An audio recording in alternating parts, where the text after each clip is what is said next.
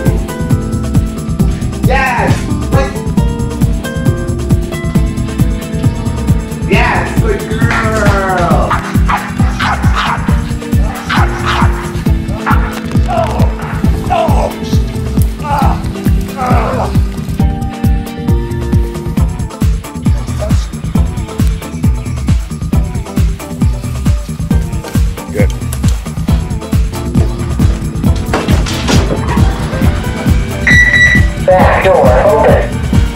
Hey, close it. Good girl.